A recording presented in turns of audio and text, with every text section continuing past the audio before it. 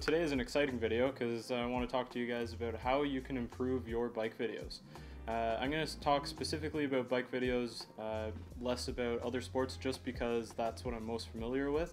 And the video I'm going to use today as an example is the most recent video and the one I'm probably the most proud of to date is the open casket video that I did with Nick Clarke.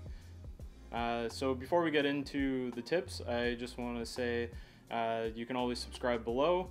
Uh, can always unsubscribe whenever you want to, but if you guys like the videos, I'd really, really appreciate it. And yeah, so let's get into it. My first tip is creating a story. So the reason I say that is because a story just makes your video more compelling.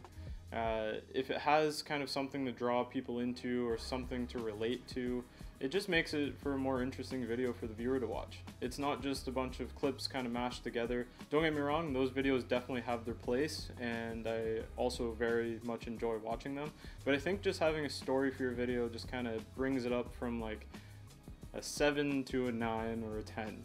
It just kind of gives it that little cherry on top that'll make it just that much better. Uh, so like I said at the beginning, uh, I'm going to use Open Casket as an example. So as we were filming this video, we started about a year ago and we were about three clips into the video and Nick already knew that he kind of had a small tear in his patellar tendon. So his patellar tendon uh, actually ended up giving out on a backflip tabletop that he did over a box jump. He put his he put his foot down and kind of wiped out and the tendon just gave out. So we almost scratched the whole video right there just because, you know, Nick went through a lot. It was a whole year of kind of frustration and getting back into it, but then Nick kind of found that fire inside of him to really create more of a banger video. He wanted to actually come back and do even bigger tricks than we filmed before, just as kind of a redemption story. Um, redemption stories are always great. Uh, it shows that a rider can really overcome anything. Uh, this was just one great example. I know companies like Red Bull, they're really kind of creating their videos based around stories now, whether it's traveling to another country and kind of riding through that city or whatever it is. Uh, but I'm, I'm really enjoying it. I, I think that it's bringing more creativity to videos. It's not just kind of going out with your friends, grabbing a few clips and mashing them together. Uh, I, think it I think it really brings more to the video. So my second tip is going to be asking the rider or athlete for a trick list. So it all depends on who you're shooting with. Um, for example, with Nick, we had an entire list written out of what tricks he wanted to get. Uh, obviously, you're not always going to get every trick that's on that list, but I really see a benefit in having a good solid plan from the rider and it gives you as a filmmaker more of an idea of what they want to shoot so that you can have an idea on how you're going to shoot it. Uh, and then you can almost start planning out how those clips are kind of going to go together throughout the timeline of, of your video. Uh, every rider, I ask for it.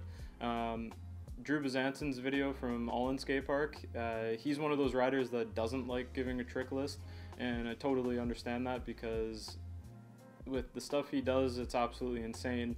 And sometimes pro riders don't want to say what tricks they're going to do because then people are going to kind of stand around and they're going to pressure them into doing those tricks instead of it being more relaxed. So you kind of just got to gauge who you're filming with. You can always ask, and if they don't want to, then that's cool. You kind of just work around it. But if they do want to give you a trick list, then that'll just make your both of your jobs so much easier in the end. So that brings me into my third point perfectly. So my third tip is planning out your shots.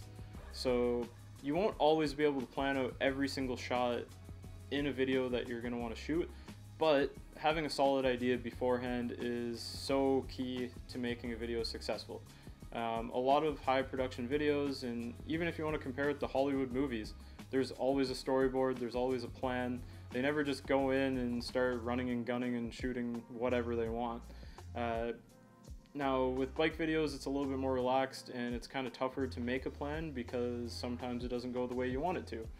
But I think just kind of having written out or even just speaking with the athlete and figuring out what types of shots you want to get and how the intro is going to be, the outro, even even deciding on the music beforehand is great because then you can kind of have that in your head while you're shooting. You kind of shoot with that intensity or relaxed, calm uh, beat.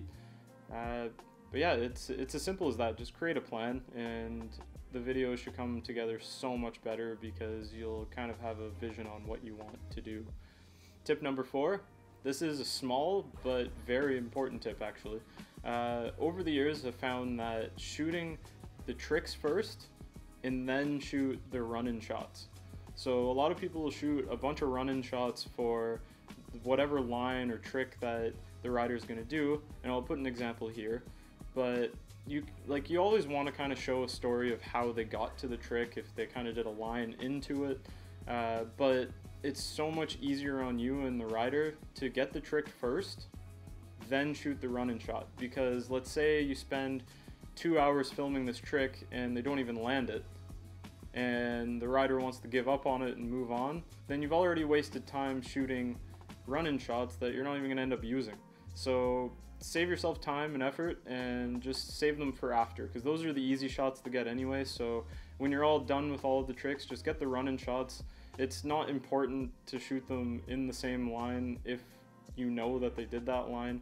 Uh, obviously, try not to cheat it, but you know, there's there's just like little hacks and stuff that filmers do to just make everyone's life easier. So there's nothing wrong with that. Tip number five, I can't stress this one enough. I've been a victim of this one. I've done it to myself so many times. Um, there was actually a vlog that I shot where I did this, and I was so angry at myself for doing it. Do not stop recording as soon as the rider lands. Try to capture footage after them celebrating, because you never know what's going to happen. For example, I shot a vlog with uh, Jaden Chipman and Joel Bondu. It's in the vlog where Jaden does a flare 540 uh, or 540 flare, whatever you want to call it. And as he's riding away, I stopped recording right as his front tire just blew up. I was so upset with myself because that would have been such a good clip to have as that was the ender for the video. But I stopped it right on that point. Yeah, just keep recording that's that's pretty much it. Simple. Keep recording until everything's done. Well, those are my five tips on how to improve your bike videos. I really hope that you guys enjoyed this video, and I hope these tips help you guys out at least a little bit. Um, I'm trying to make these mistakes myself and sharing them with you guys so that I can help you guys out in the future. And I'm always learning myself, so if you guys have any tips that you have for me, uh, definitely leave a comment below. I, I'm always open to any sort of suggestions or opinions on anything that I do. So uh, thanks for watching. Uh, definitely subscribe. Uh, you can always unsubscribe if you want to. Uh, if you like this video, please hit the like button. And again, leave comments below of anything that you want to ask me or share with me or any tips you have. And yeah, so I'll talk to you guys later.